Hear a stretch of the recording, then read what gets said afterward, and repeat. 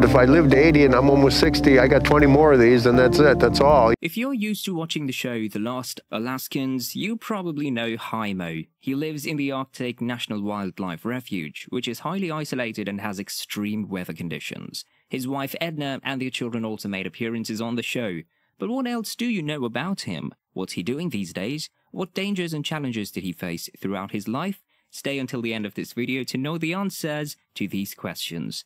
It's hard to believe that this man, who's a natural when it comes to living in isolated areas amongst the snow, grew up in Appleton, Wisconsin. His family was not really into nature and exploration, but Heimo, on the other hand, was always intrigued by it.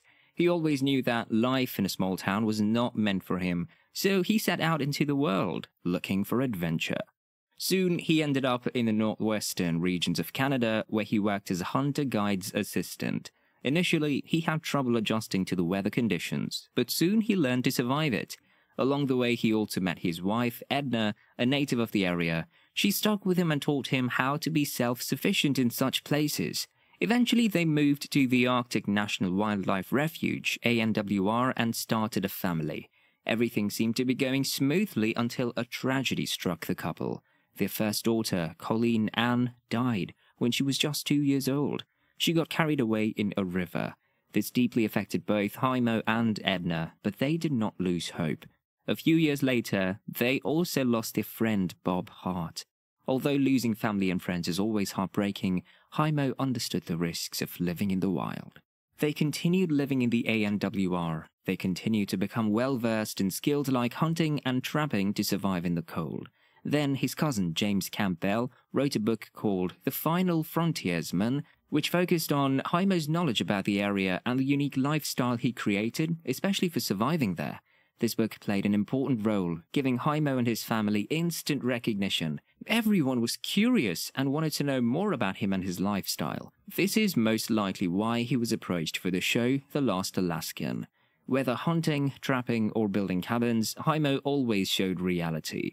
He shared his knowledge about these things and discussed the kind of skills that one needs to live here. On the show, the family was seen working together. This brought an extra layer to the show. Moreover, his experience allowed him to share stories about his earlier days in the wild. The viewers loved this aspect as it added character to the show and showed how Heimo progressed. But some viewers were against him and the show. Animal rights activists and environmentalists have always expressed their concerns regarding hunting, but Heimo also had strong opinions regarding these issues.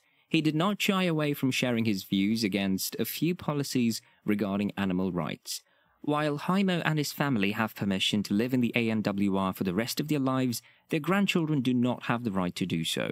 Heimo and his wife inhabited the area before it became a wildlife refuge, so they have special permission to live there, but it does not extend to their grandchildren. The show ended in 2018. There were some speculations that Heimo and his family had moved out of the ANWR, but they did not. They are continuing to live there. They do not leave their traditions behind either. They plan to live there for the rest of their lives. That's all for today's video. If you like it, remember to subscribe to our channel and turn on notifications so that you'll get all the updates from us, and we see you in the next one.